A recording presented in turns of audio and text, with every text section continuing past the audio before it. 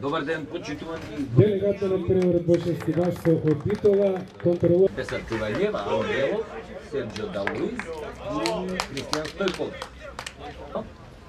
Има освоено 16 бодови. Додека екипата Шкупи едно место подолу со освоените Формер од лева страна, Стојковски. Центар шут на прва статива. Кипорич биеше со глава. Родригес по лева страна, обе за центар на втората статива, тамо во воздушот, се влезе во 16-тник. Центар шут по земја. Имаше прекршок во 16 Божиновски. Дава знак Бартон. И 1-0. Боби Божиновски. Чиски.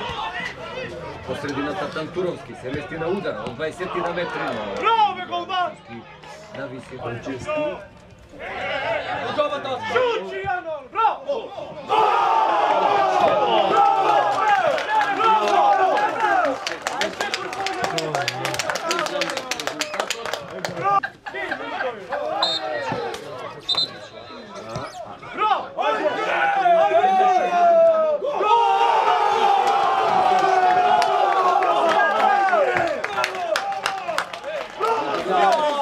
Во страна за екипата на страна Смокара Сухари.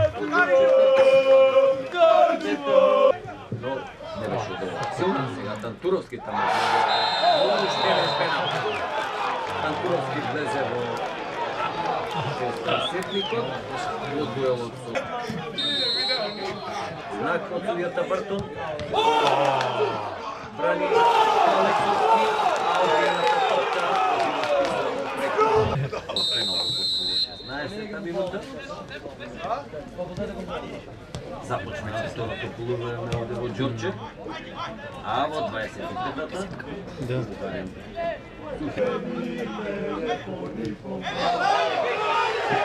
Стојковски легува во 16-та последен момент интервенија на Гена Филиповски. Удар, одличен удар по средината на одбиена топка за малку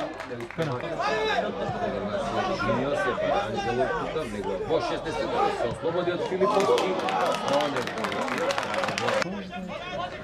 Божиновски сега една добра топка за Чустовски, него во 16 Двојна интервенција, успева да спаси својот Кировски, се ослободи